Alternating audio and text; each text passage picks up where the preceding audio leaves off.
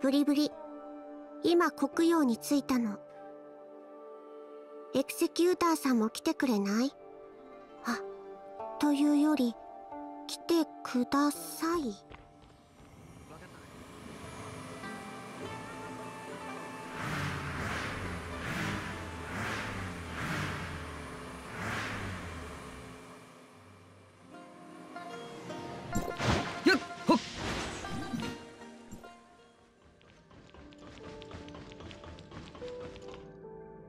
皆さんお揃いですね。林藩様は戦闘指揮中のため私が代理で来ました。国用改造後の戦力費は列陣士が演算してくれていますがリスクには備えておかなければなりません。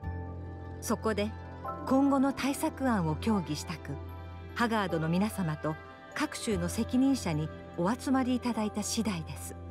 リンハン様は戦闘指揮中のため私が代理を務めさせていただきます。本日の決定事項は後で私から報告いたしますね。ええ。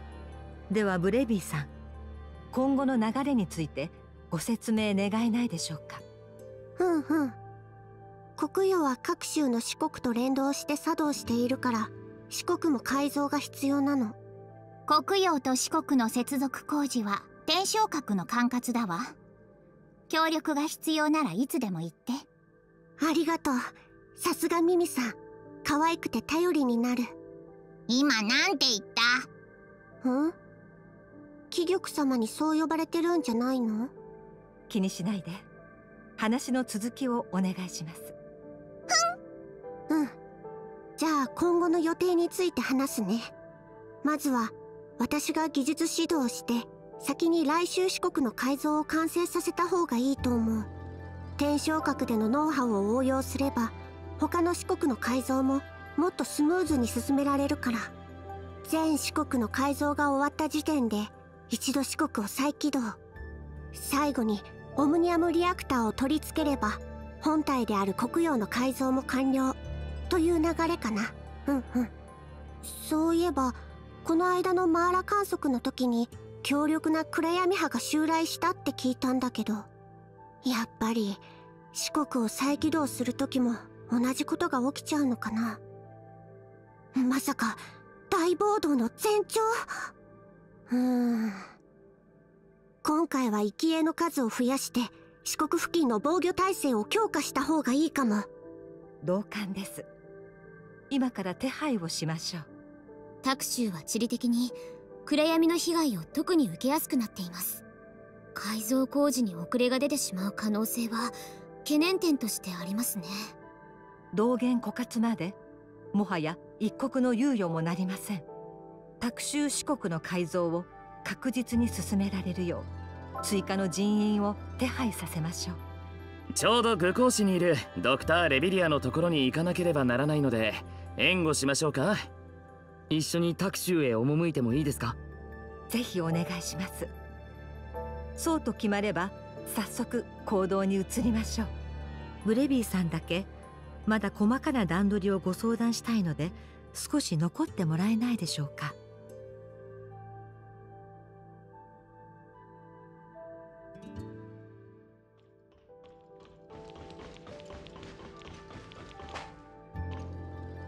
ご挨拶が遅れました私は愚行士の長官円病と申します。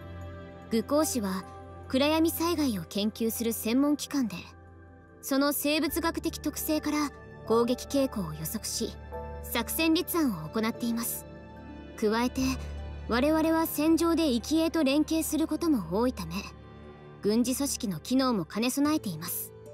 今回は四国改造に協力しながら異常な暗闇波の発生原因を突き止められればと思います。暗闇研究といえばドクター・レビリアは本当にすごいお方ですね。博士が提供してくださった知識のおかげで滞っていた各研究分野も次々と成果が出始めています。タクシューの原玉遺跡を解明できる日も遠くないかもしれません。タクシューの原玉遺跡って何かあるんですか？それは口で説明するより実際に見てもらった方がいいかもな。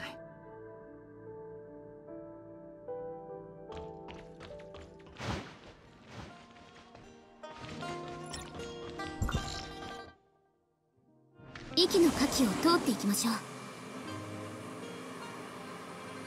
そういえば遠病さん来週はいつぶりで？あ実は公務が忙しくてあまりタクシーを離れられないのです。弾の外回りがあっても暗闇の発生地でサンプルを収集するくらいですね。こうした工事でもない限り国用に行ける機会もめったにありません。私ったら迷子になってしまって先ほどは助かりました。いえいえ。旧域で生まれ育った私の方が道案内をしてもらうだなんてお恥ずかしいところを。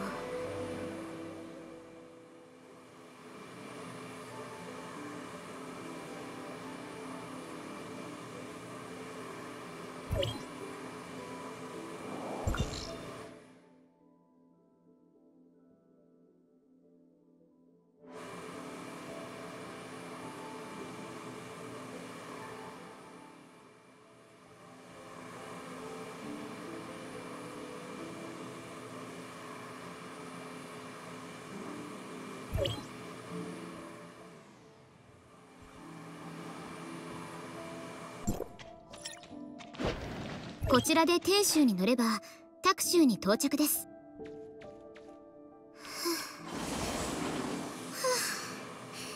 どうしましたか？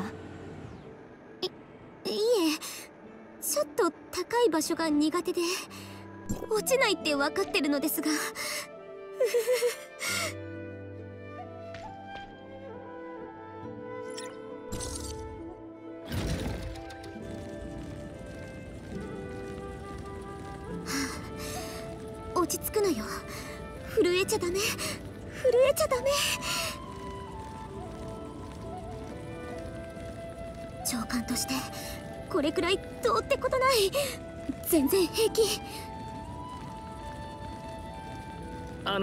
ビオさん。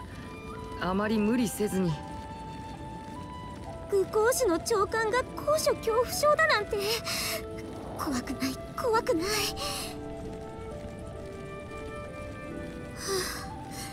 あ助かった。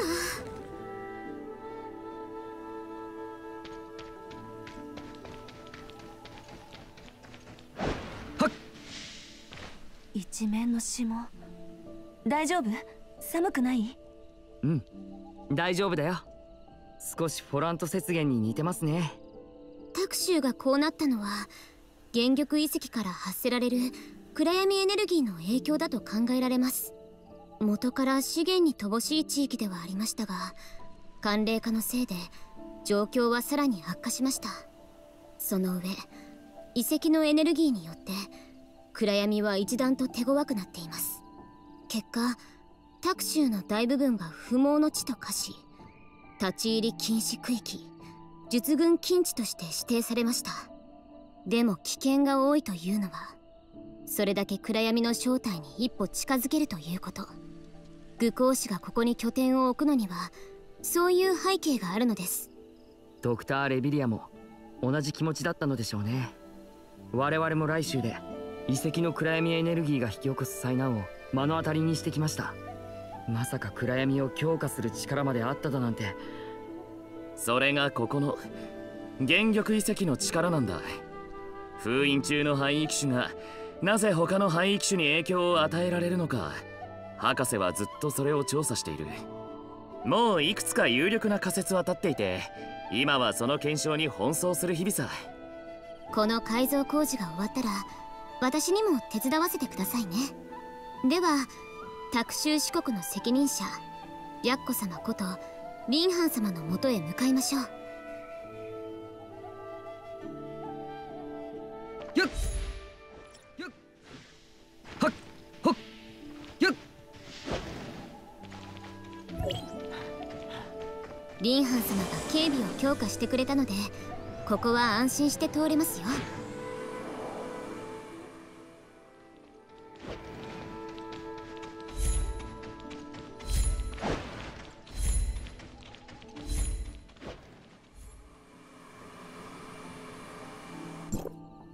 防御を緩めないよう予定通り出陣を。あとは私に任せて。はっ！リンハン様四国改造にご協力いただくことになったエクセキューターさんとシャーリーさんそしてテンランさんです。リンハン様の予想通り四国改造中は暗闇波が誘発されるとのことでした。防御網を張った方がいいかと思います。分かったでは作戦の要点を伝えるわ。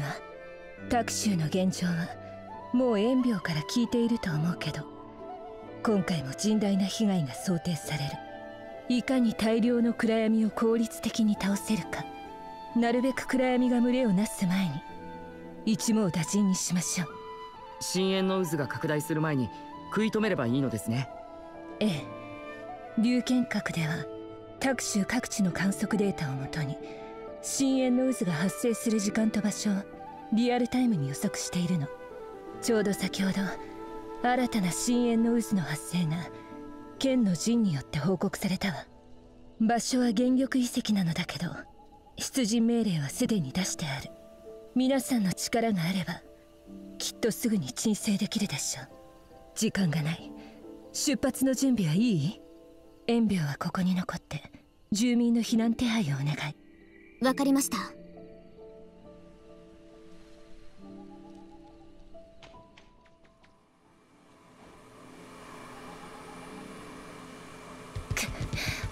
遅かったか。加勢しましょう。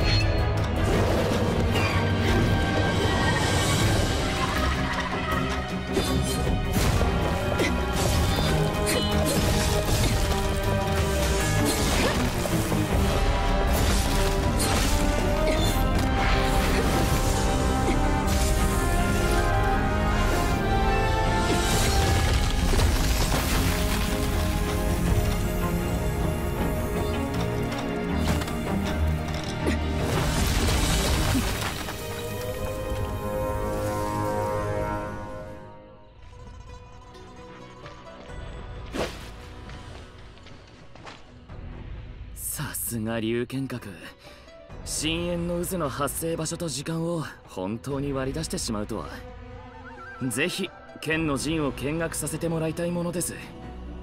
ああ やはり忙しいですよね。無理を言ってすみません。深淵の渦が消えてない。まだ暗闇が現れるってことか。そしたら一匹残らず葬るまでよ皆さんのおかげで助かったわ。これならあとは私一人で対処できそう。避難の手配も済んだ頃だろう。先に本部で遠病と合流してから四国へ向かってちょうだい。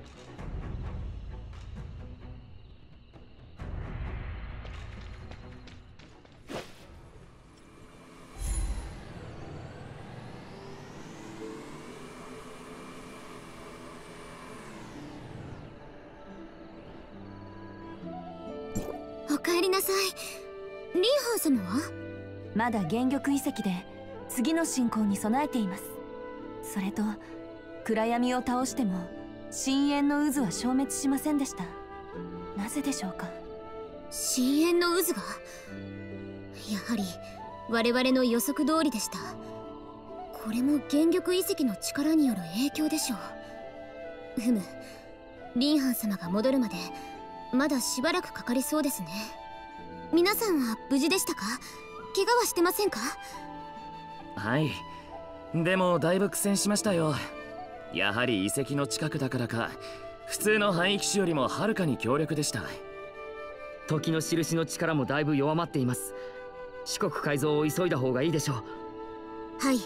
避難手配は完了しているので今すぐ出発しましょう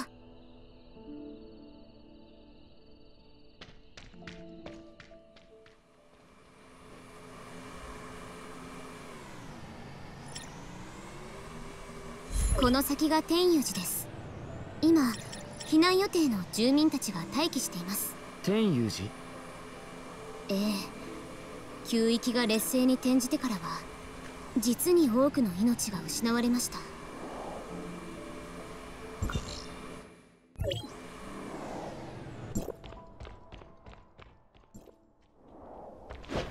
あまりに大きな絶望感に立ちはだかった時神にすがりたくなる気持ちはわからなくはありません。天遊寺の住職雄星長老は大変人徳の高いお方です。束の間の安らぎでも人々が希望を持ち続けられるのなら我々も戦う意味を失わなくて済みますわ。行きましょう。四国はもっと先です。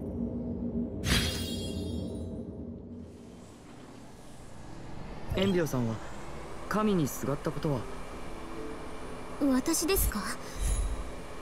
この立場にいるうちはみんなのためにできる限りのことをしたいと思っています。急ぎましょう。あれは護送中の住民たち。怪我をしてるみたい。助けなきゃ。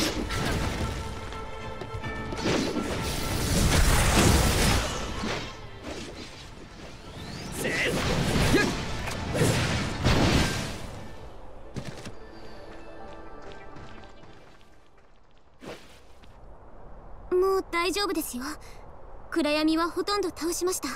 今から怪我人の手当てをしますので少し休んでから移動しましょう。それなら私も手伝います。みんな無事だといいな。俺は周囲を見張っておくよ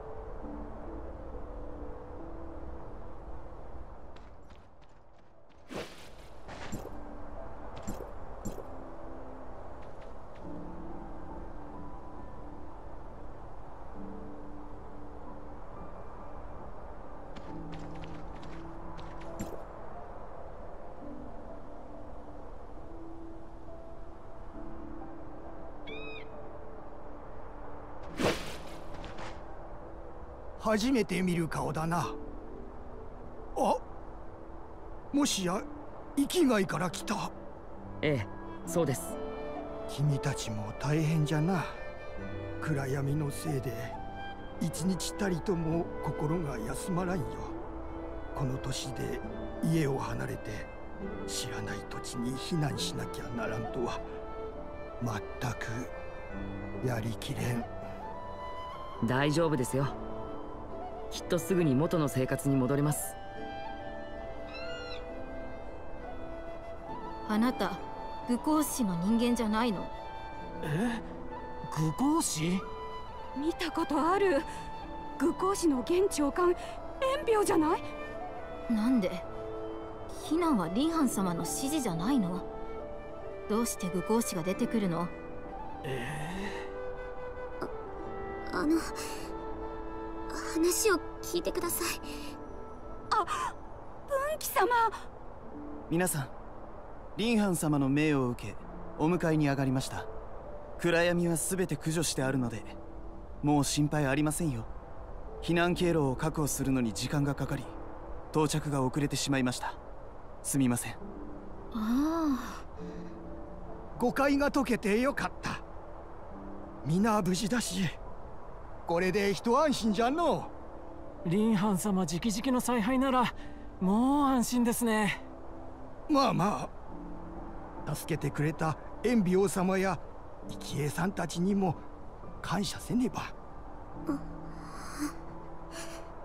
当然の務めです。ではもう少ししたら避難場所へ向かいましょうか。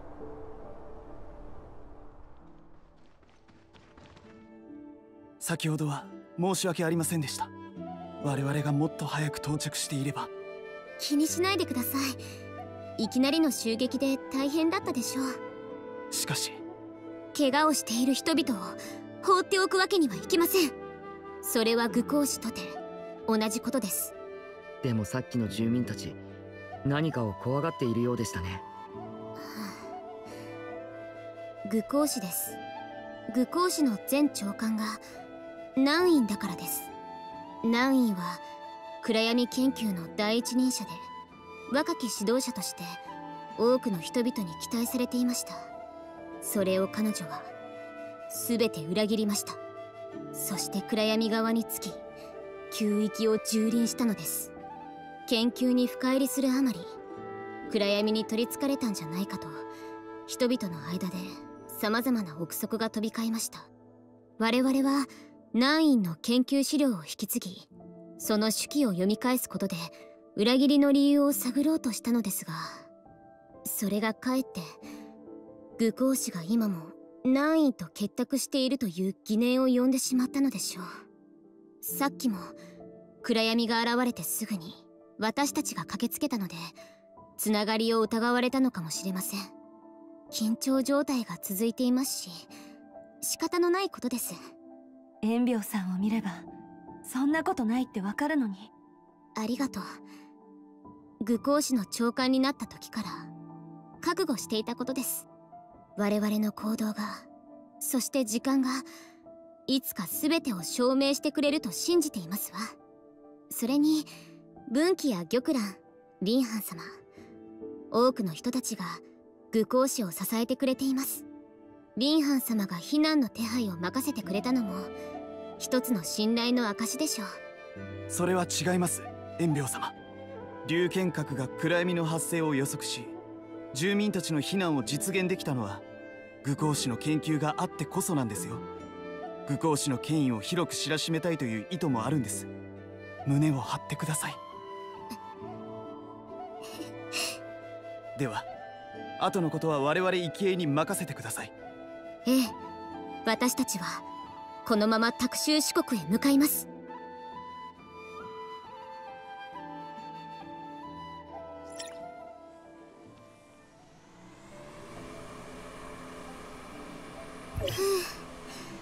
この辺りは安全みたい。でもまだだいぶ距離がありますね。休憩しますか？いいえ。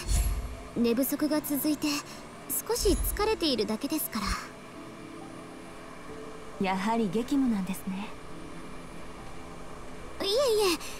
みんなの力になれるのは嬉しいことです。もう大丈夫です。急ぎましょう。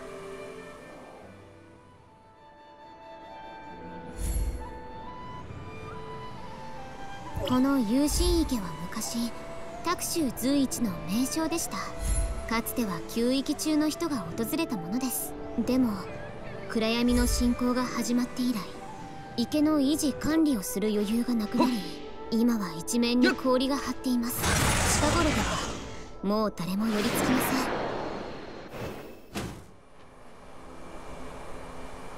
せん。着きました。あのエレベーターに乗りましょう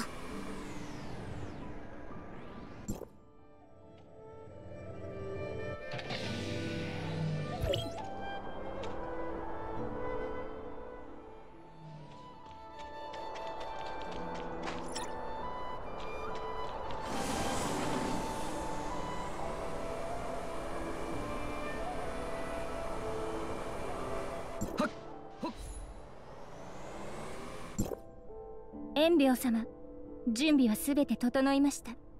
いつでも改造を開始できます。天正閣のデータは同期済み。生きたちも所定の位置についています。では始めましょう。あと少しすればここは暗闇に狙われるでしょう。工事中はどうしても四国の防御シールドを解かなければならないので完全に無防備な状態になります。皆さんだけが頼りです。どうか四国を守ってください。わかりました。任せてください。ご安心ください。四国には指一本触れさせません。また世話になるわね。一緒に来て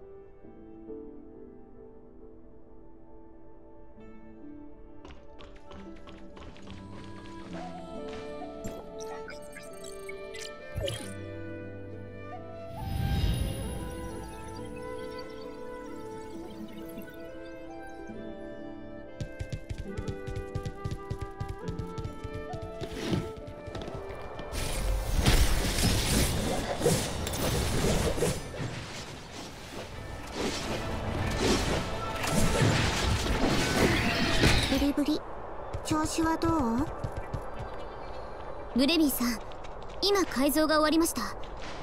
本部との接続状況は？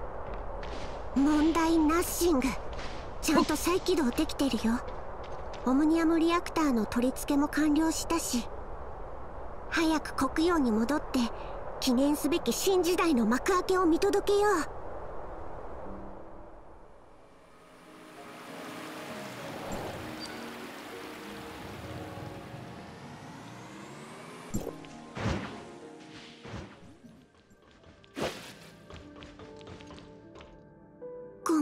めん貴玉様もう一回オムニアムリアクターを点検させてトラブルが起きたみたいで。う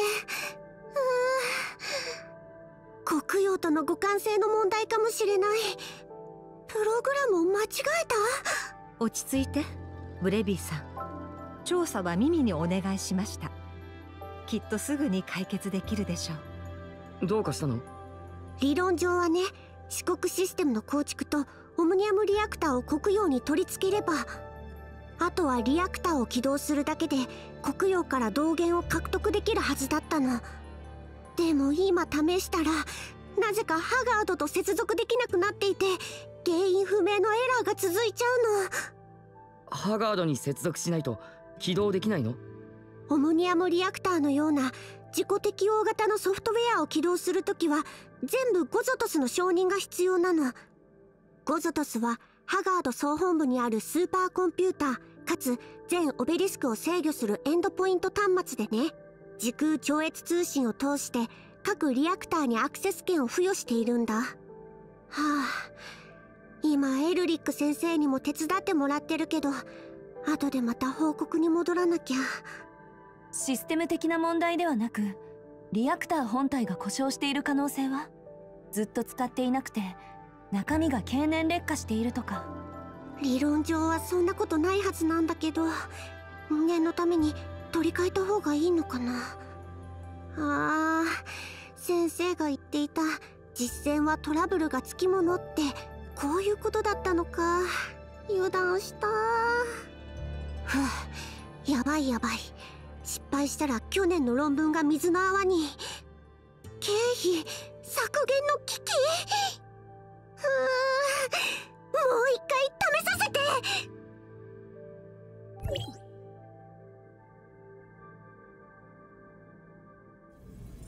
エルリック先生今ゴゾトスのネットワークに接続できたんだけど起動プログラムがまだ。あやった。起動できたよ。今のうちに国用起動。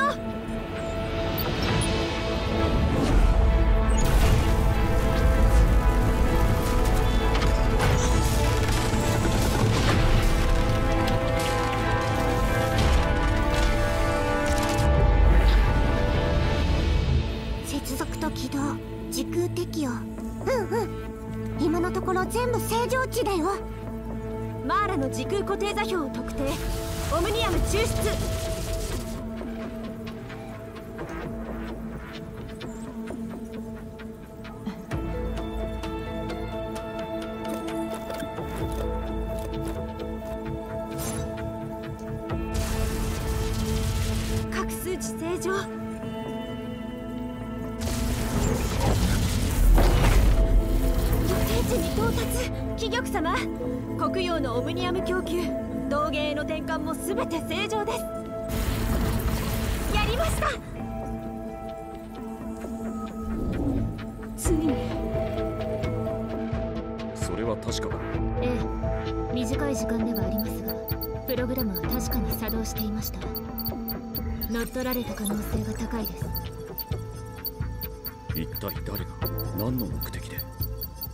後で急域に行って原因を調査してくれ。はい。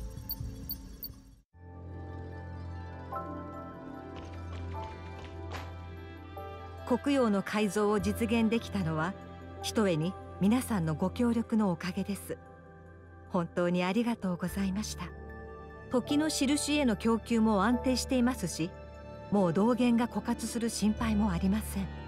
いよいよ急域が攻勢に転じる時です人球の観測記録によると原玉遺跡の暗闇を倒して以来来週では暗闇による被害が大幅に減少しました。他の州でも同じような効果が期待できるかもしれません。被害状況を鑑みて先にタク州への出兵を要請します。遺跡の力さえなくなれば術軍近地での調査を再開し術軍の災いの真相も明らかになるかと。ここは私に。確かに。術軍近地なら南院の居場所の手がかりも見つかりそうですね。でもタク州の原玉遺跡は特殊です。気をつけないと取り返しのつかないことに。旧域の新しい希望になるのなら試す価値はあるかと。貴玉様私も今回の作戦に参加します。エクセキューターさんとシャーリーさんも遺跡での戦闘経験がありますよね。どうか今回もタク州で皆さんを支えていただけないでしょうか。わかりました。では今からタク州の原玉遺跡に入り行為の暗闇を討伐します。各自で準備を整えてください。詳細は追って知らせます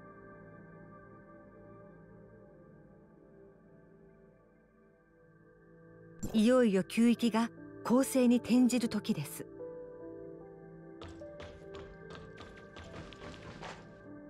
この度はありがとう。二人をこんな危険に巻き込んでしまって何と言ったらいいのか。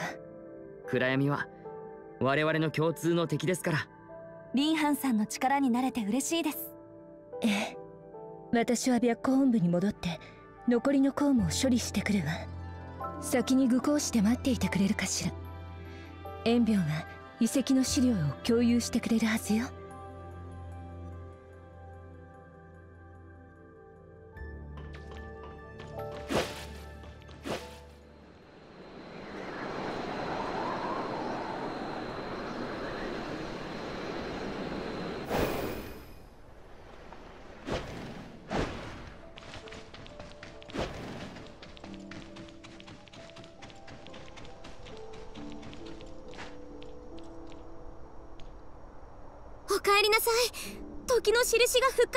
活しています。黒曜の改造に成功したのですね。はい。危機は去りましたよ。はあよかった。戦闘がだいぶ有利になりますね。正直タクシュが足を引っ張ってしまうんじゃないかと内心ヒヤヒヤしていました。次の作戦は決まったのですか？タクシュの原玉遺跡で行為の暗闇を討伐予定です。それを提案したのはリンハン様ですよね。わかりました。愚行士も全力で協力します。原玉遺跡の暗闇を倒せばようやく本命の術軍近地に入り込めます。この日のために愚行士はずっと術軍近地の情報を収集してきました。どうか役に立ちますように。どうして遺跡ではなく術軍近地が本命なんですか？その術軍で起きた事件が南院という人と関係しているからですか？リンハンさんが術軍の災いって言ってたよね。うん。よければ事情を教えてもらえないでしょうか？あれは全球域を震撼させた事件でした。まるで腫れ物を扱うように。誰もめったに口に出しませんが決して忘れ去られたわけではありません。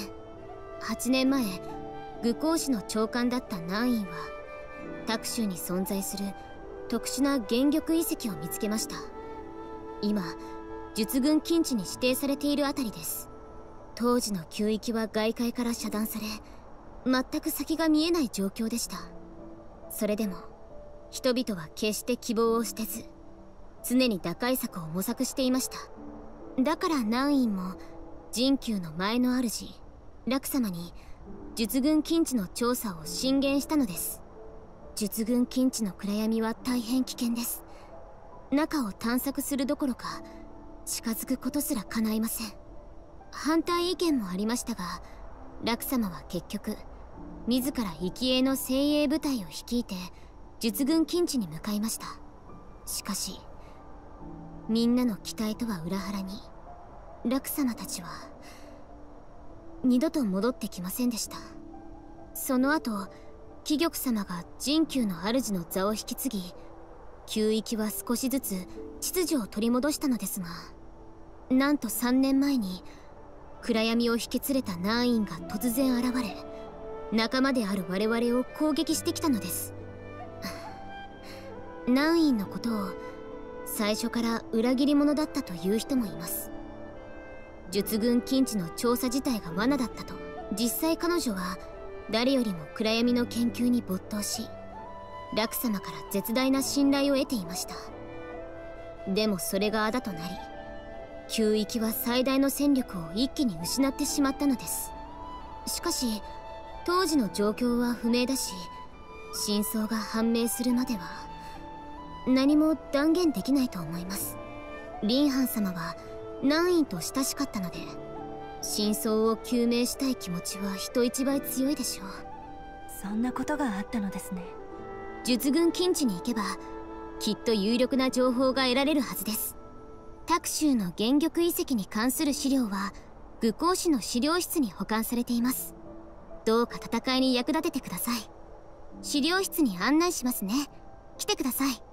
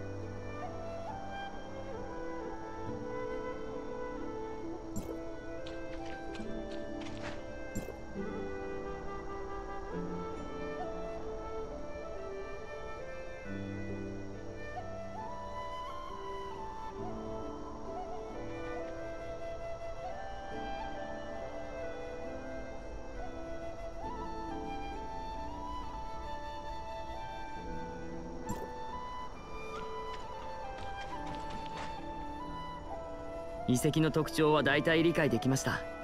今までと違って。今回は我々の方から封印を解かなければならないのですね。ええ封印を破った暗闇と戦う状況はありましたが今回のは初めての試みです。ふむ。どんなデータが取れるか全部記録しなければ暗闇を討伐したら遺跡の中を調査させてもらえないかしら。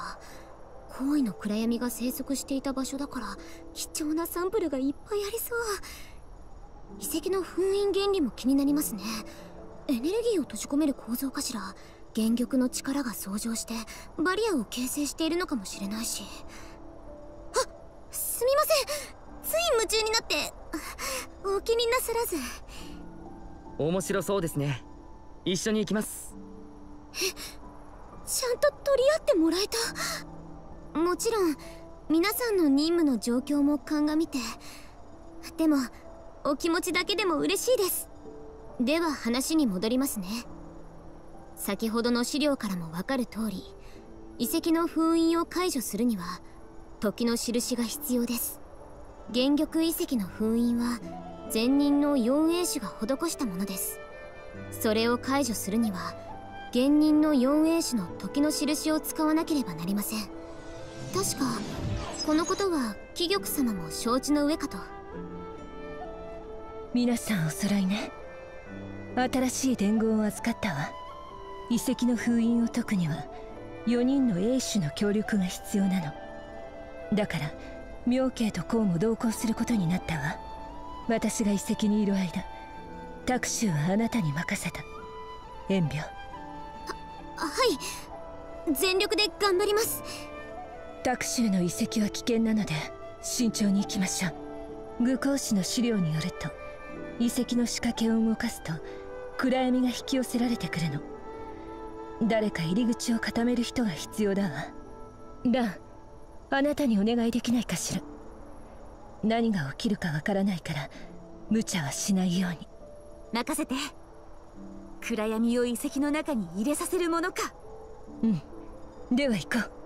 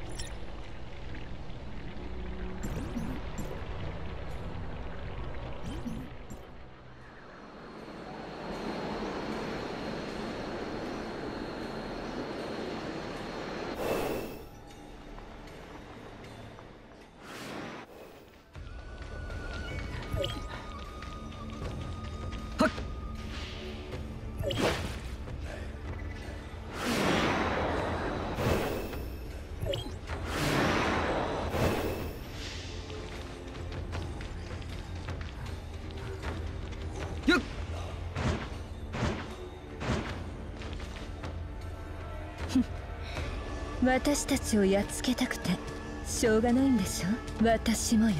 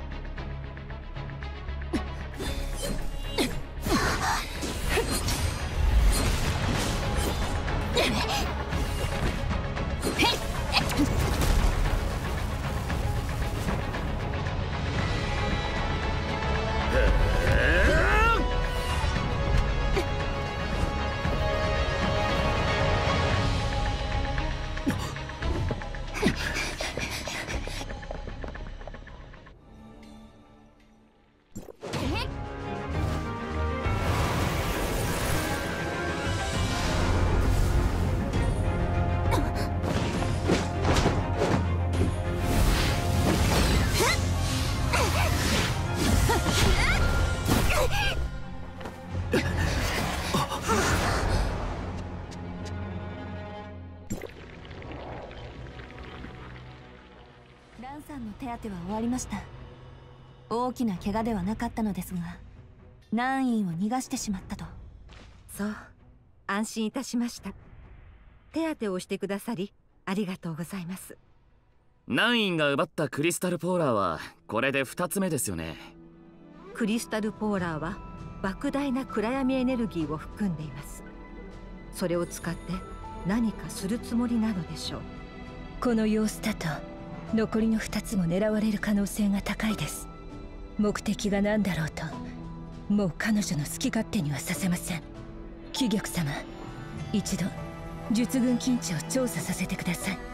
形勢を逆転するには先手を打ってナインの居場所を突き止めた方が。ええ。それも一つの手ですが今はまだ危険すぎます。まずは万全の備えが必要です。今日は結論を急がず一度対策を立て直しましょう。皆さんはゆっくり休んでください。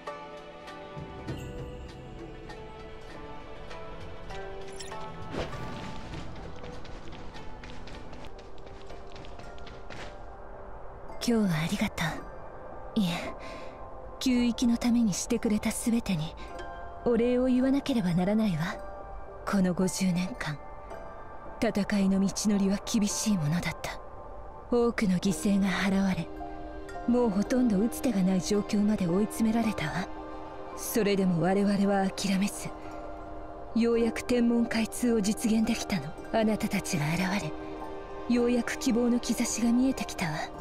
みんなで力を合わせていけばきっと真の平和は訪れますよ。うん。だけどそのためにはまだ乗り越えなければならない山がたくさん残っているわ。術軍禁地はその第一歩ね。どんな危険が待っていようと覚悟はできているわ。旧域の未来のために。そして術軍の災いの真相のために今度こそ。彼女と決着をつけなければ。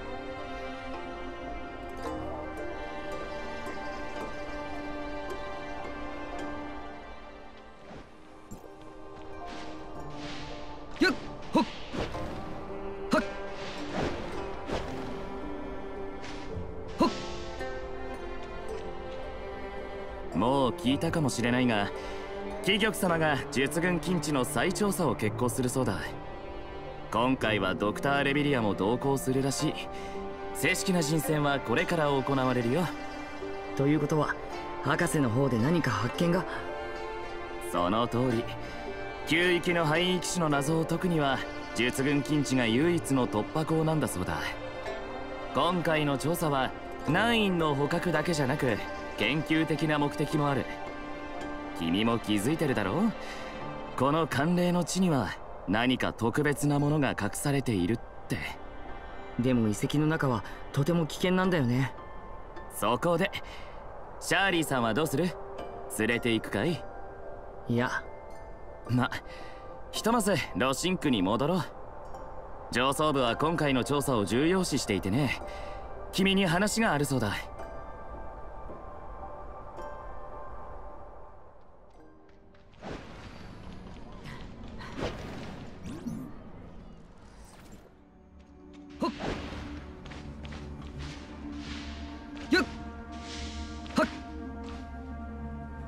君たちが遺跡内の廃域種を討伐してくれたおかげで我々は行為の廃域種の生態を初めて把握することができた。ナインが奪ったクリスタルポーラーを早急に取り戻さねば。この件については後でドクター・クレイフォーに話を聞いてくれ。補足したい情報があるそうだ。おお後でドクター・レビリアに共有しますね。どんな情報も貴重ですから。それから次の調査について大体の話は聞いている。貴玉様によると過去の調査は全て失敗に終わったそうだ。だがドクター・レビリアならきっと有益な情報を持ち帰ってくれるだろう。今回の調査は我々の運命を左右するものでもある。どうか慎重な行動をお願いしたい。はい。博士は私がお守りします。エクセキューター。君も調査に同行してくれ。第9地区で一番優秀な君がいれば我々も安心だ。今取り組んでいる任務は全て他の者に代わらせておこう。それから旧域のオベリスクは今のところ正常に稼働しているよ。本当にご苦労だった。ブレビーに付き合うのは大変だっただろう。何せ色々と変わった子だからな。旧域とアーシャの架け橋としてこれからも頼りにしている。いえブレビーとはいい友達になりましたよ。そうか。では健闘を祈る。皆が持ち帰ってくれた情報はすぐにハガードの研究機関に回そう。ベラの防衛技術にも役立ちそうだな。報告を期待しているよ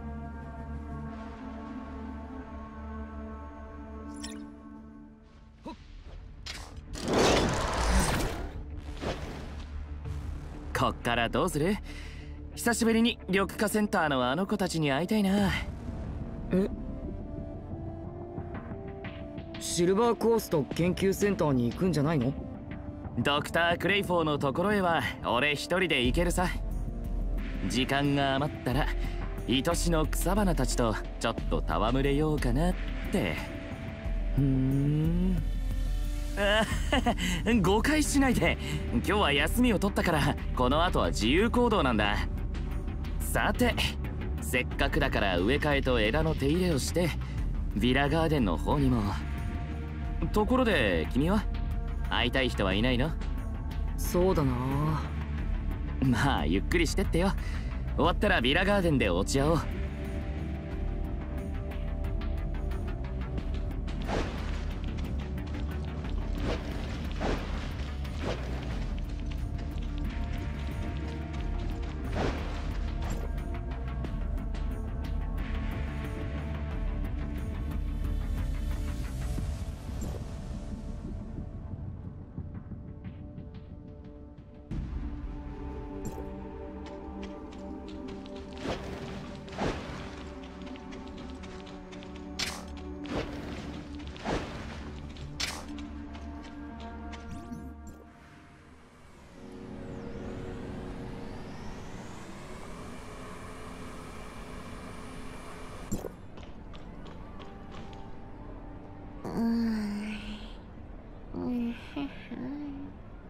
シリーさん機械衛兵の新しい性能報告書が届きました。うううん故障箇所は全て修理され機能性テストもクリア済みです。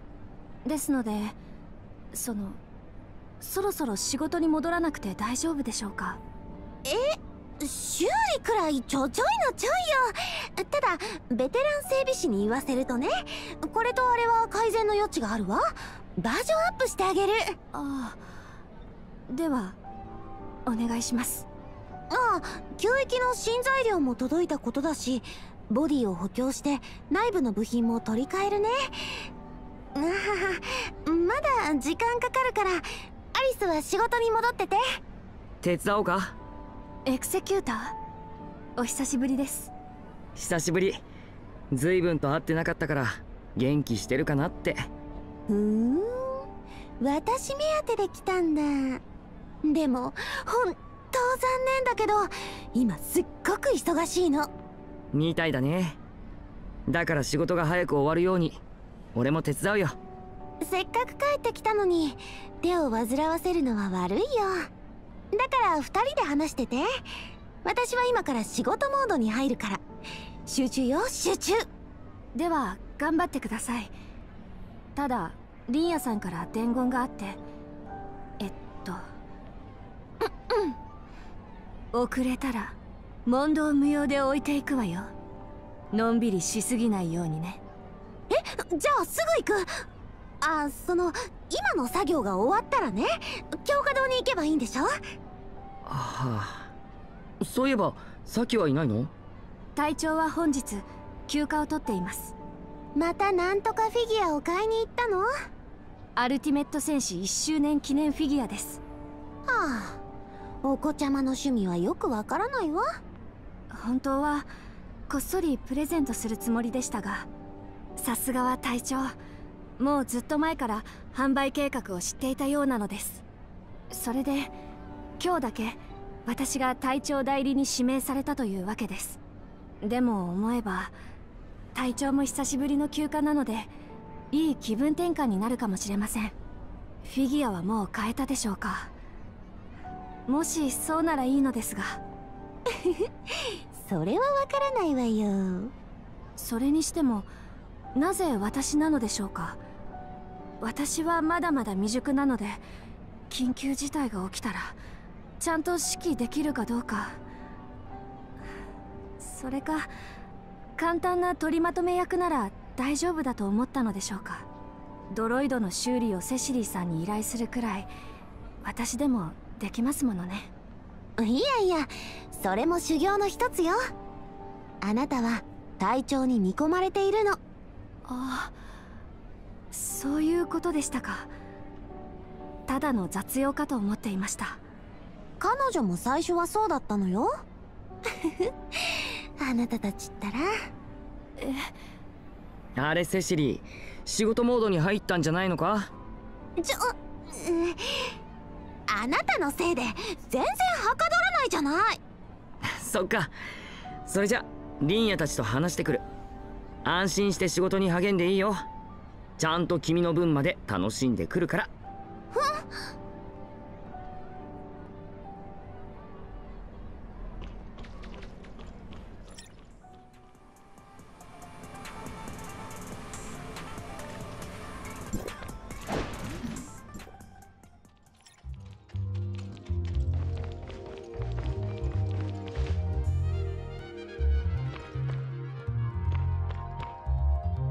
ついにジークを見つけたんだね。おめでとう。うん。長い道のりだったよ。久しぶりだしもう少しゆっくりできたらいいのに。今回の危機を乗り越えたら博士と一緒に帰ってくるよ。これからすごく危険な任務に出るのよね。チャンスはリスクと隣り合わせ。それが廃域種の謎を解く唯一の方法なら突き進むしかないその勇敢さに敬意を。ほんの気持ちだけど渡したいものがあるわ。これを受け取って。これは？孤児院の子供たちが作った折り紙よ。あなたたちのことを皆に話したの。廃域種を撲滅してミラポリスに光をもたらすために。深淵の渦の向こうの未知の時空に渡った勇者がいると感謝と応援を込めた折り紙を送りたい よくできているでしょ？こんな素敵なもの。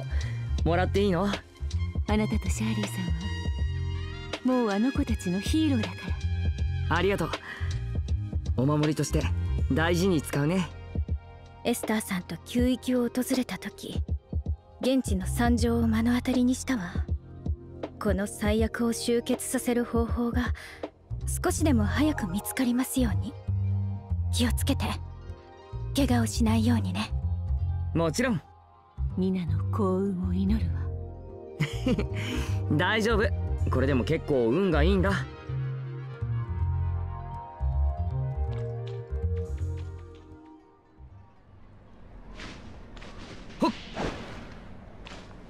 実に見事だよむしろ前よりもよく育っているような。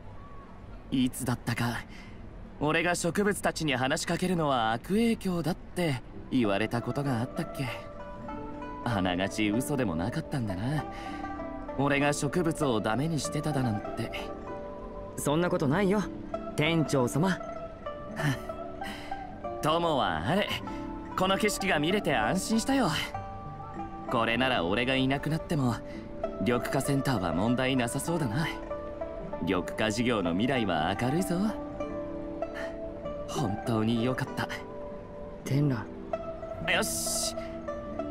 行こう。少し名残惜しいけどこの子たちを起こしちゃ悪いしな。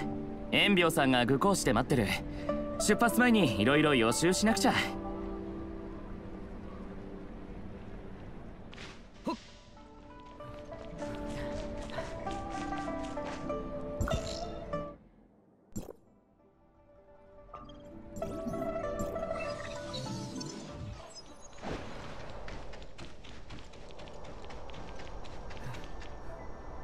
おかえりなさい。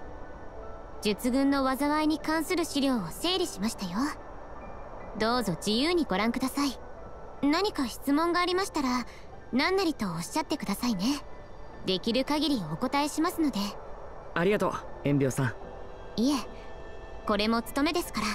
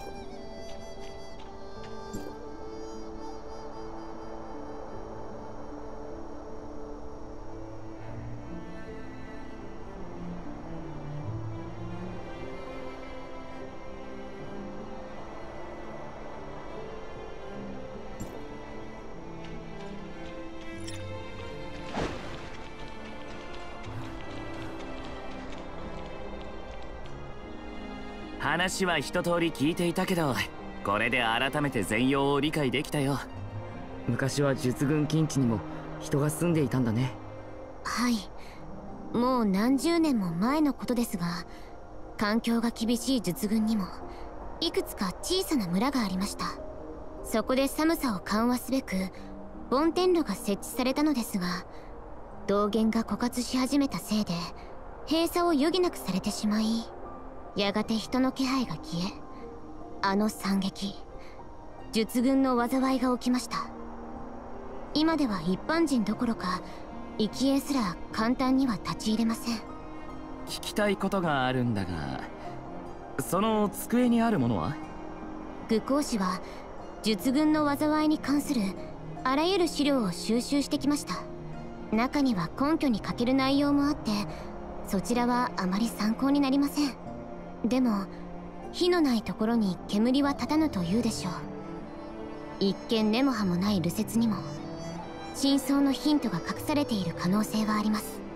ですのでこういう不確かな資料も破棄はせずにこうして一箇所に保管しておいているのです。後で役に立つかもしれないしね。エンビオさんはナインのことをどう思ってる？ナインは旧域を裏切って暗闇側につきました。それは紛れもない事実なのでしょうけど何か隠された重要な事情があるような気もしています。もしかすると彼女は人知れず悩みを抱えていたのかもしれません。愚行士は彼女の努力の結晶です。それに最初から裏切るつもりなら愚行士を設立した意図は？その答えを必ず突き止めてみせます。それにたとえ最悪の状況になったとしても私が必ずこの組織を正しく導くと決めたんです。最悪の状況？ナンインは愚行士を悪用しようとした時です。それを止めるのが私の愚行士長官としての使命ですから。いずれにせよ真相の究明はこれからですね。あなたたちのおかげでやっとここまで来ることができました。これからは私も全力で皆さんを支えます。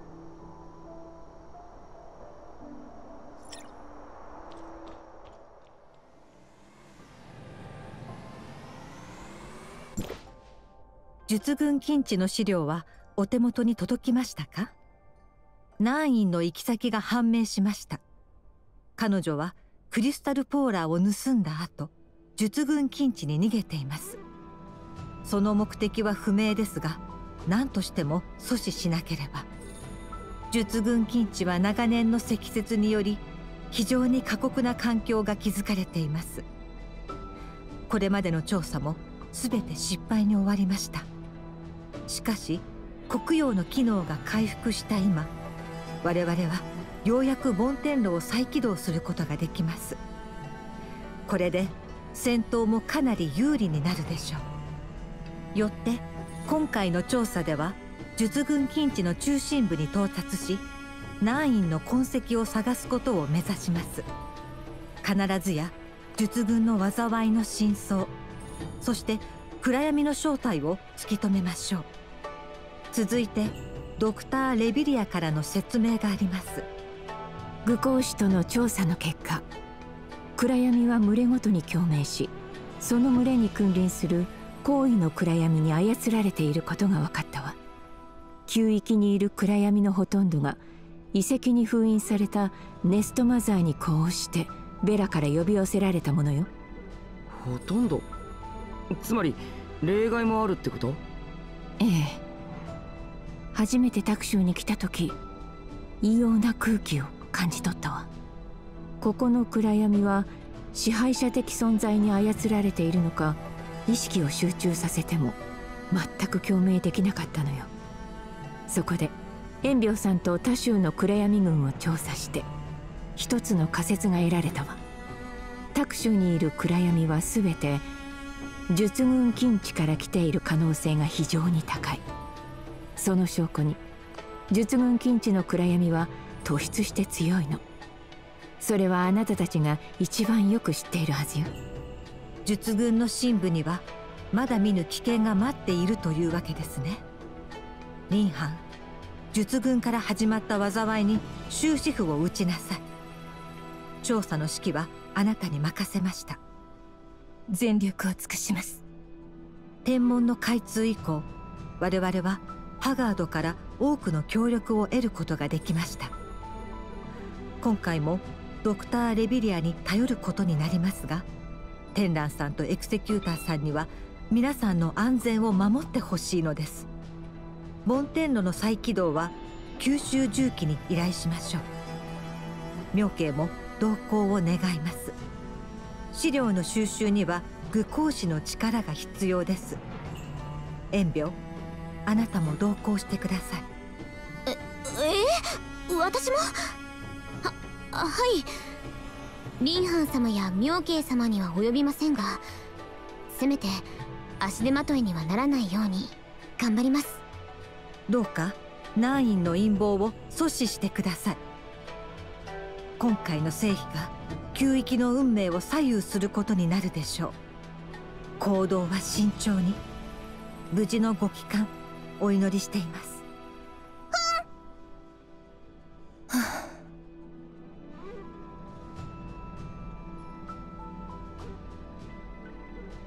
ミミじゃなくてこうは大丈夫？コウにとって今回の調査には特別な意味があるの。彼女の父先代の清流様は数年前にあそこで消息を絶ったから。そっか。一緒に行けないのは悔しいだろうね。コウは幼くして清流の座を引き継いだわ。そして天正閣と来州の人々の命を預かる立場になった。口には出さないけどとてつもない重圧のはずよ。彼女にとって父は目指すべき鏡であり大切な心の支えだったのよ。本当は自分の手で真相を解き明かし父を弔いたかったのでしょう。もう少し時間をあげましょう。私は残って貴玉様と作戦を協議するわ。先に戻って支度をしてて。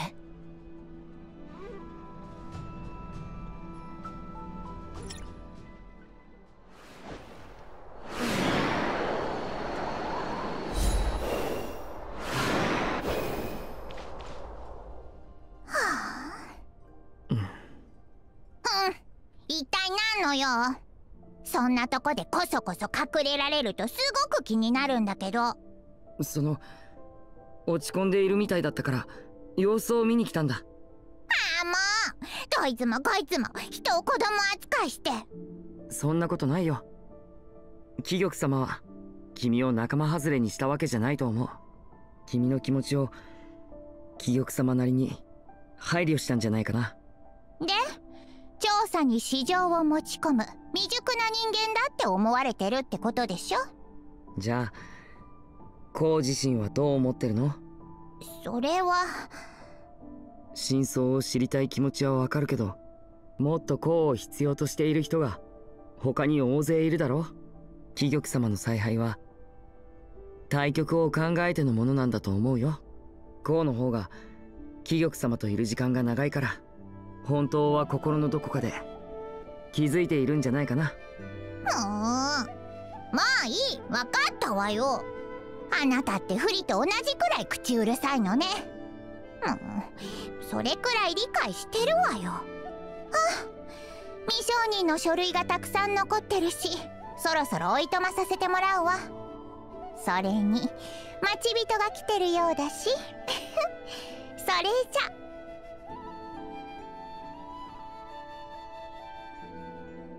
シャーリー。うんあのさ。分かってる。みんながあんな危険な場所に行くのに私だけ何もしないだなんて。そんなのできないわ。あなたはいつだって駆けつけてくれたじゃない。わがままを言ってるつもりはないの。どれだけ考えてみても答えは同じだから。何があっても一緒に向き合うって約束したもの。私たちは仲間でしょ。どんな危険が待っていようと今回も一緒に乗り越えよう。ね。うん。そうだね。うん。貴玉様の了承は得てあるわ。機関門に行ってみんなと落ち合おう。えいつの間に？私を置いていこうとするからよ。だからわざとあなたに黙っておいたの。これでおあいこねさあ行こう。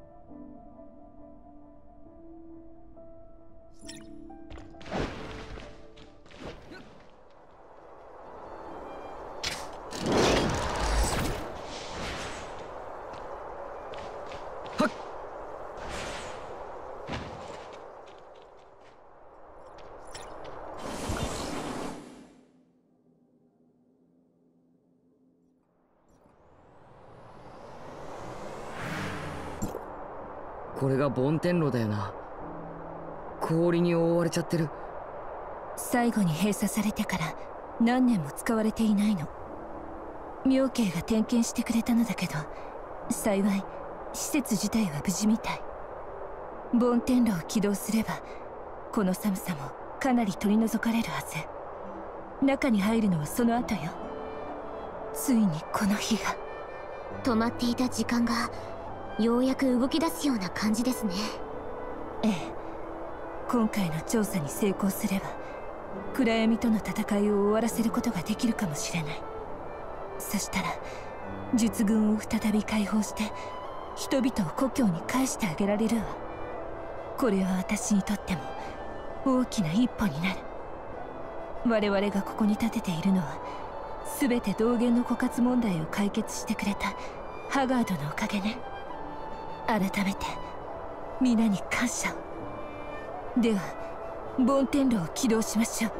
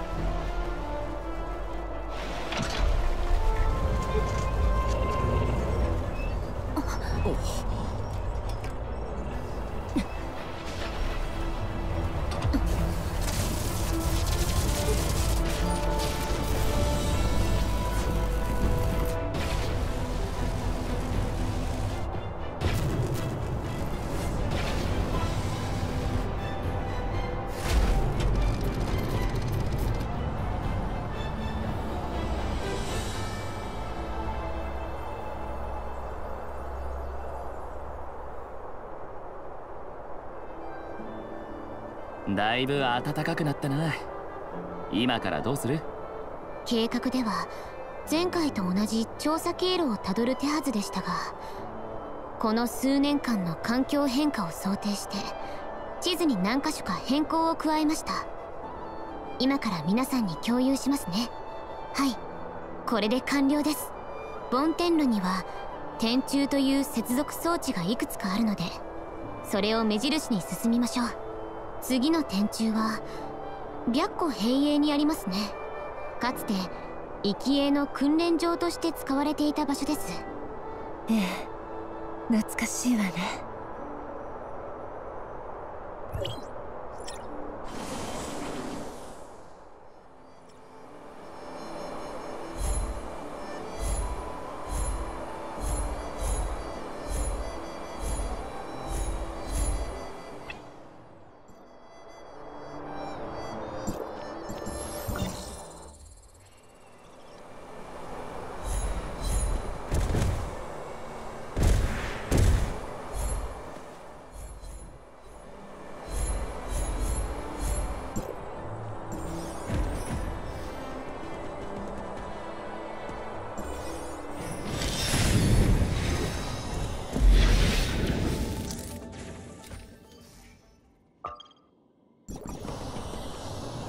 手伝おうか？いやちょうど終わったところなんだ。ありがとう。点検？してたの？うん。幸い天柱自体はどこも壊れていなかった。時の印が使えるように小型のエナジー増幅装置を搭載しておいたんだ。なるほど。術軍が閉鎖されていた間施設の保全のために四国の稼働も止めていたんだね。その通り天正閣の修復作業が終わるまでの間はこの装置で十分しのげるだろう。さすがだわ。天 柱を起動しよう。もう問題はないはずだ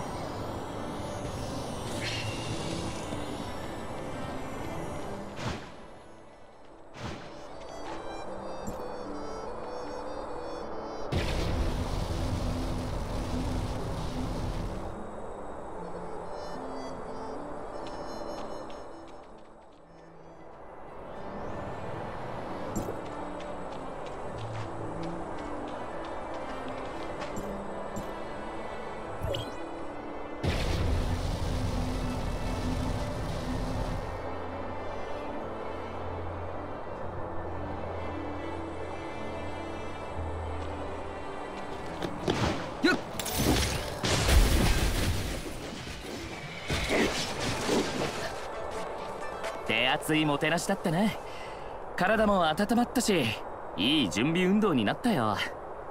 天柱を起動した時に引き寄せられたの？そうね。我々に対する警告かもしれない。これから奥に進むにつれ暗闇の数は増えていくでしょう。誰も怪我してない？みんな無事よ。博士は？大丈夫よ。ただ頭の中の雑音が考えられる原因はいくつかあるけどおそらくネストマザーの力はここまでは及ばないのかもしれない。博士近辺のサンプルを採集してきました。ありがとう塩病きっといい研究材料になると思うわ。少し情報を整理する時間が欲しい。一休みしてから出発しましょう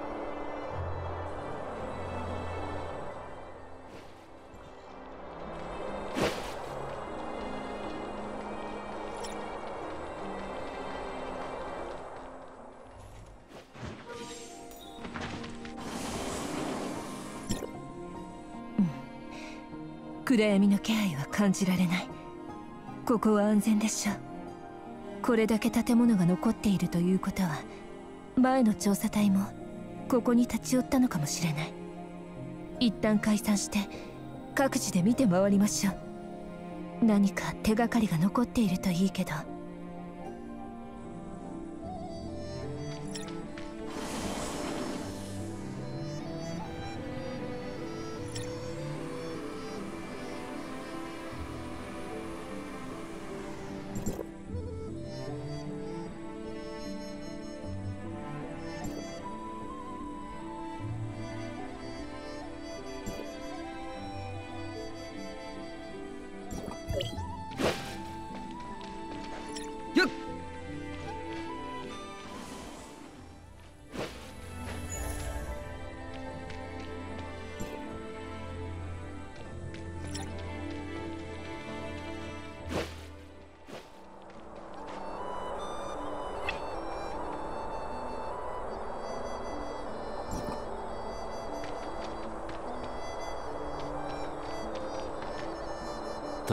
人が滞在した痕跡があるな。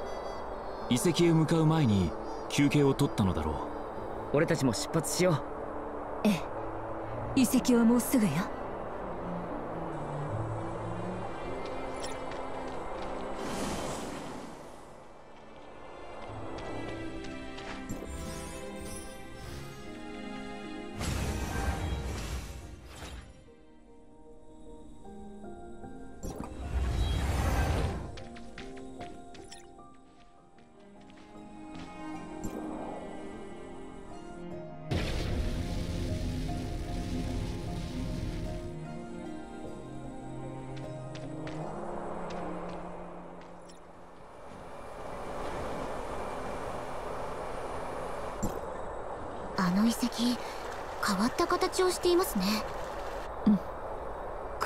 気配が一切ないわ。道理で静かすぎると思ったよ。不気味なほどにね。天蘭ひょっとして緊張してる？別にしてないさ。少しほぐれたみたいだな。資料によると遺跡の周辺にある装置を起動すればボン天路の力に呼応して入り口が開かれるとのことです。さほど難しくはなさそうねとはいえ慎重に行きましょう。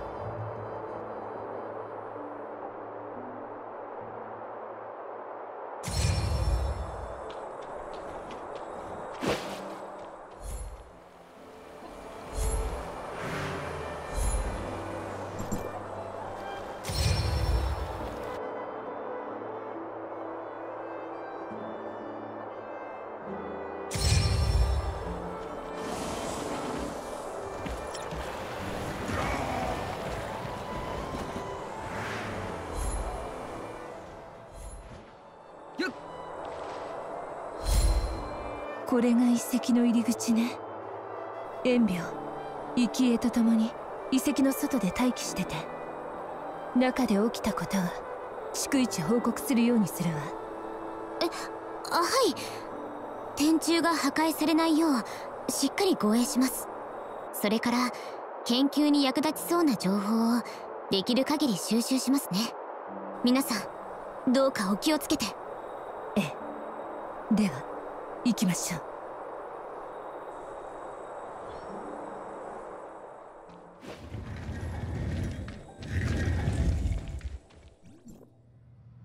た道はもう戻れなさそうだな。これも黒岩文明が残したものなのかしら。風鳴島の遺跡と同じってこと？ええ。ランの話だと風鳴島の遺跡では過去現在未来の3つの時空を同時に体験できたそうね。ええ。その遺跡は暗闇を封印するためのものではなかった。代わりに謎のモニュメントだけが残されていたわそして仕掛けを全て解くと深淵の渦の干渉が消え私たちは冥界の天門を開けることができたの。今のところ暗闇の気配は感じられないしここも一種の文明遺跡と見て良さそうね。でもまだ気を抜かないようにね。一瞬の油断が命取りになるから。やっとここまで来たんだ。引き下がるつもりはないさ。ここには先の調査隊も来てるはず周囲を警戒しながら手がかりを探してみましょう。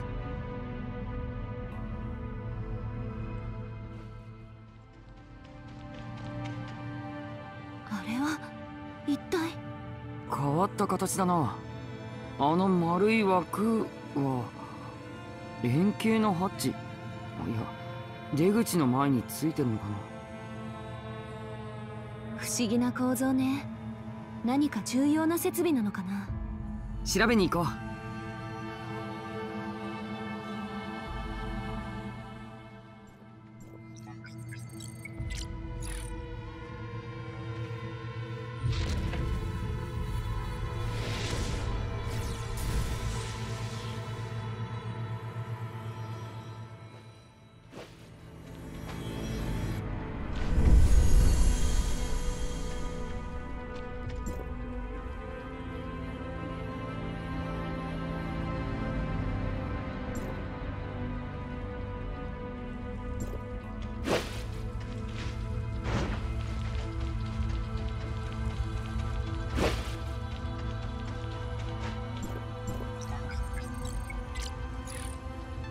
体たちずっと回ってたのかな？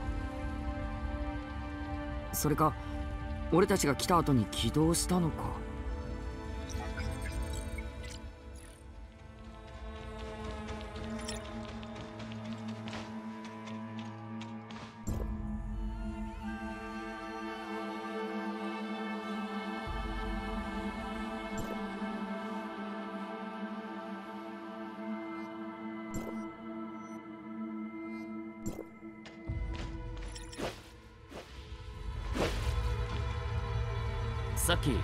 外で何か音がしなかったか？もしかして次の空間の入り口が開いたとか？だといいけどここの手がかりだけじゃまだ何もわからないわ。遺跡全体を一通り探索したいところね。それとあの原玉守衛たち一見大きな損傷はなさそうだけど全く機能していないわ。ずっと前に設置されたものだと考えていいでしょう敵か味方か。これじゃわからないな。何か大切なものを守っているのかな。このまま進もう。今は情報を集めるのが優先よ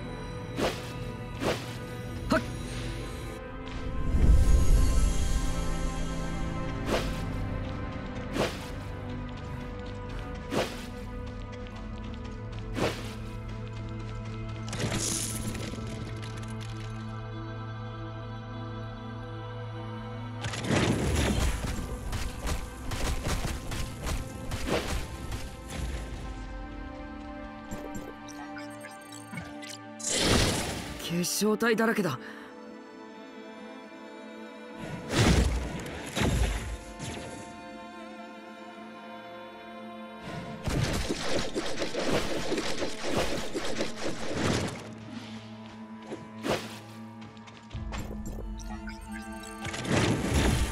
この電力守衛見るからに強そう。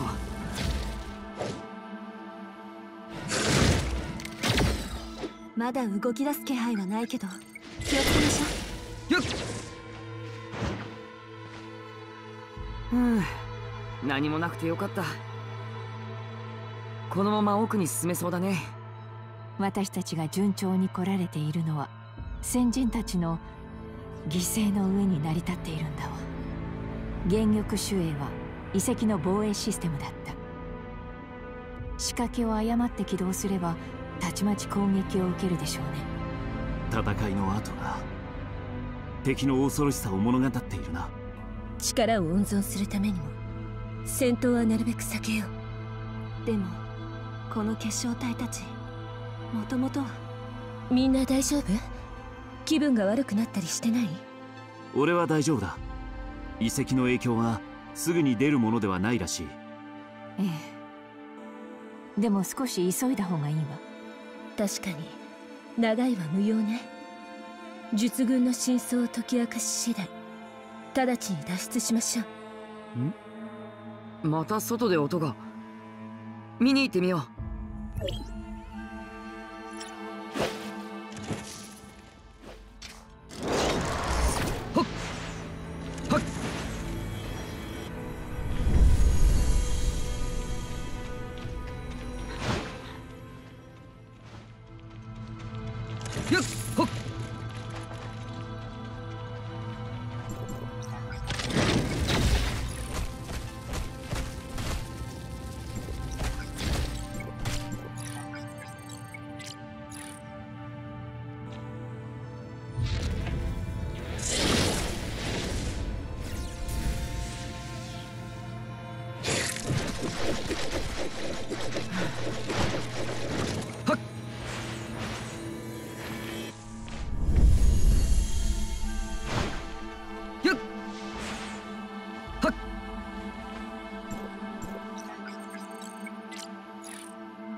が式に書いてあった。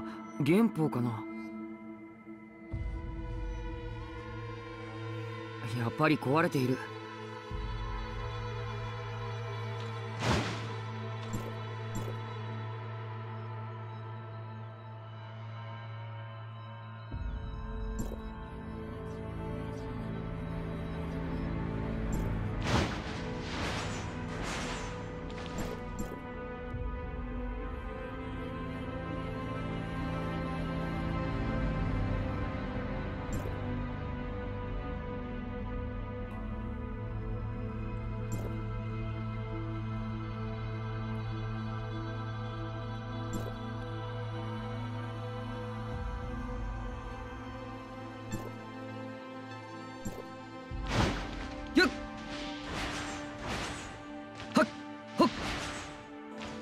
ここに残された手がかりはあれだけのようねあの装置の用途を調べるにもこの術軍一隻の役割がわからないんじゃ難しそうね。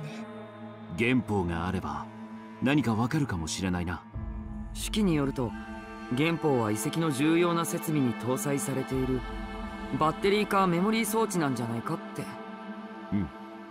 俺は後者だと踏んでいるが今ある原法を解析しても何もわからなかった。すっかり破壊されていてな。俺たちが見つけた原法もダメだった。私も同じ状況よ。どうやらもっと奥へ進むしかないようね。何が待っているかわからないけど何か危険を察知したらすぐに調査を切り上げましょう。異星人さんももう少し分かりやすくしてほしいよな。行きましょう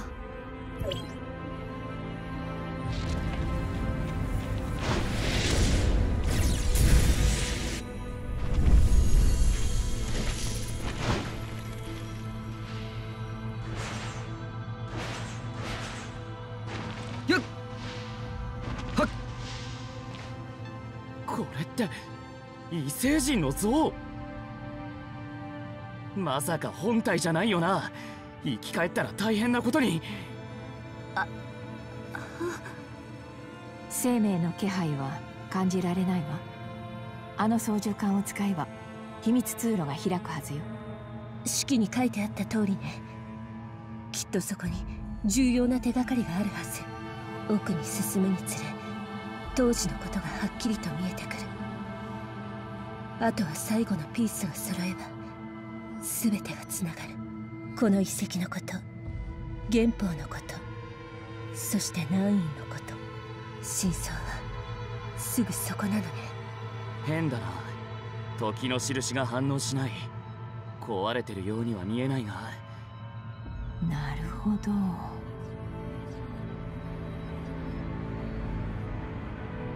これは？博士起動できそう？私？え？ええ。私なら操れそうだわ。おそらくこれは廃液種のエネルギーに反応する装置ね。起動すると深淵の渦が現れるのでしょう。意図的に深淵の渦を生成できるとは興味深いな。これは手記にはなかった発見だわ他に似た装置はないのかしら？今までみたいに次の空間に進めるわけじゃなくて深淵の渦の行き先は未知なのよね。確証もないのにいきなりそんなリスクは冒せないわ。この件は一旦保留にして他の場所を調べましょう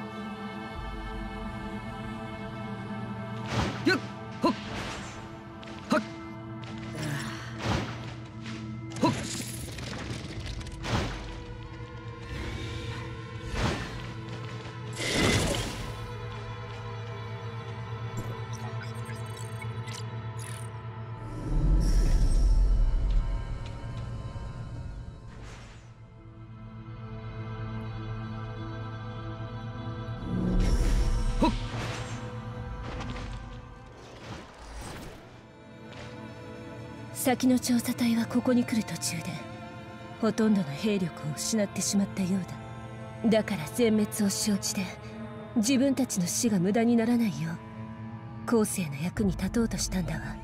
最後に残ったナンイはみんなの希望を託され転換の実験体となったのね真相を確かめに行きましょう。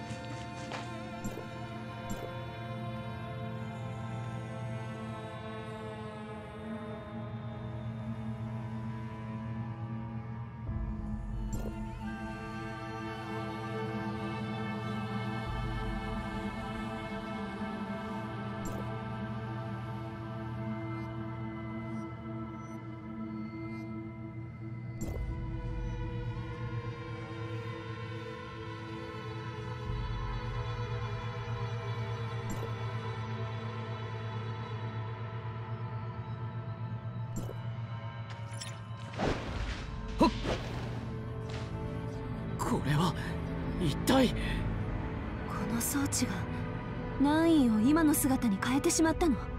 原本を持ち帰る。いいチャンスかもしれない。烈人誌に解析をお願いできれば黒岩文明の解明にも役立つはず。同感だわ。でも原本を取り出すにはこの転換装置に入ってくれる人が必要よ。ナインの二の舞にならないよう対策を打たなくては。原玉守衛がそこら中にいる。今は襲ってこないが装置を起動した後はどうなるかわからないぞ。念のため俺が周辺の警備につこう。じゃあ装置の起動は任せて。時の印を制御台の上に置けば転換が始まるわ。でも危険だと判断したらすぐに脱出してちょうだい。それまでに原本を獲得できるよう試みるから。では始めよう。幸運を祈って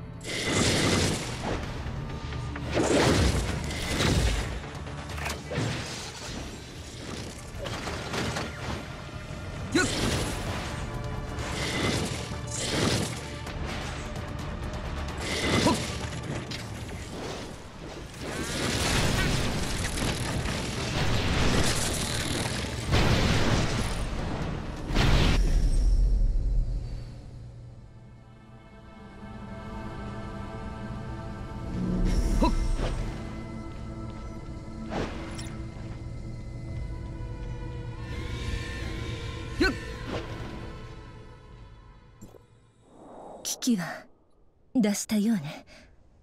博士は大丈夫？ちょっと疲れただけよ。休めば大丈夫。みんなは？俺も何ともなさそう。よし。みんな無事みたいだな。あの原玉守衛たちを甘く見ていたわ。当分は戻れないでしょ一部でもいいから。衛兵たちの亡骸を持って帰ってやりたかったが。あの機械を九州重機に解析してもらえたら対策方法がわかるかもしれない。とても持ち帰る余裕はなかったけどね。うん。でも今回の調査が無駄になったわけじゃない。当時の真相。暗闇の力でしか起動できない装置。それから原法きっと大きな前進につながるはずよ。リンハン様。心配しておりましたみんな無事で本当に良かったです。今すぐ貴玉様に報告したいことがあるの。それが大変なことになりました。ナインがクリスタルポーラーを狙って歌集を奇襲したのです。スザク様とコウ様が向かっていますが状況が全くつかめません。水州にも大量の深淵の渦が発生しており援軍が必要です。分かった。炎病と博士は原法を持って陣宮へ妙慶と天蘭は水州に向かって。二人は一緒に来てちょうだい。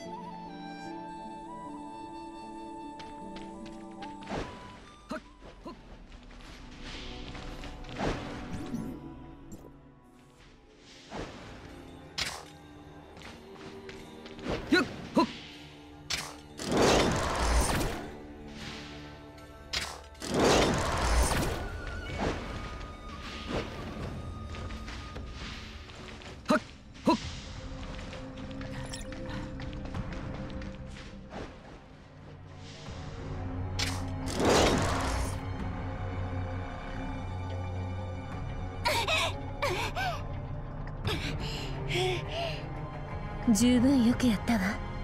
あとは任せて。小賢しいやつめ。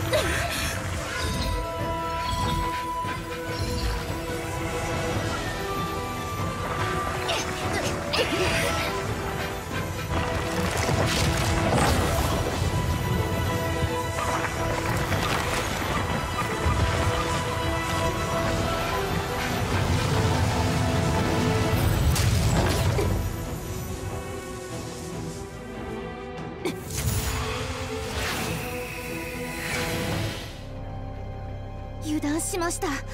我がもっと早く気づけていれば。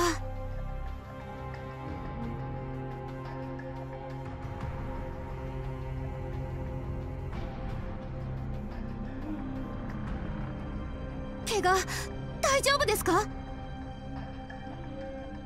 まあまあ安心して。強がっちゃダメですよ。ナインあの化け物め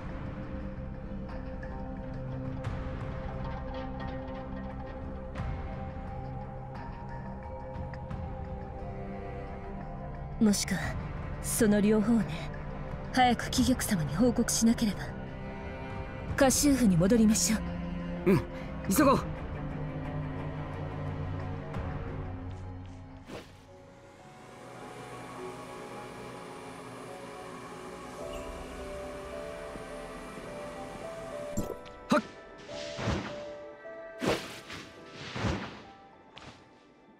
円病が届けてくれた原法は列人史に解析をお願いしています。これは黒岩文明を解き明かすまたとない機会です。結果に期待しましょう。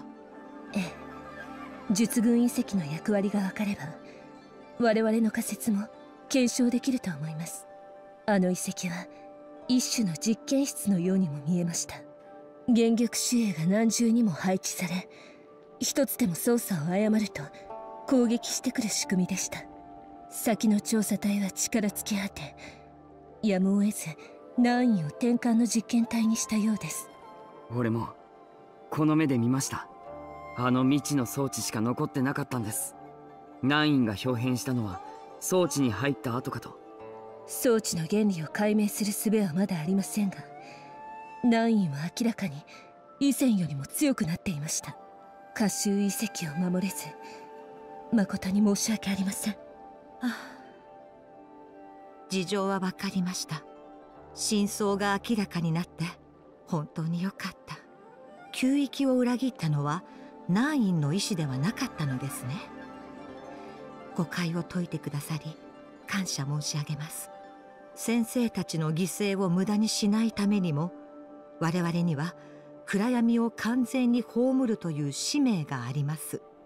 肝心なのは今の南院に昔の記憶があるかどうかということです。そして3つ目のクリスタルポーラーが奪われた今。残る標的はただ一つ。すぐに水州の防衛を強化させましょう。原法の解析も急がせます。